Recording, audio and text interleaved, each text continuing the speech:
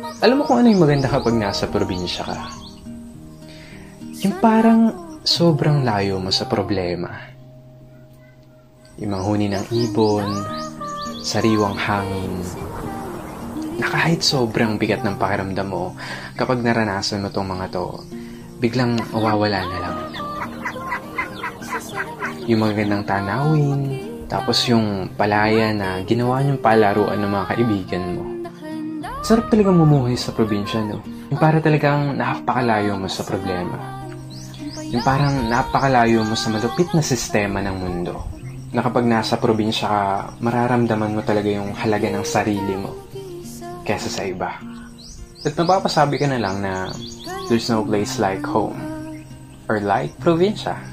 At ikaw na nanonood nito ngayon, masaya ako at naparamdam ko sa'yo ang pamumuhay sa isang probinsya.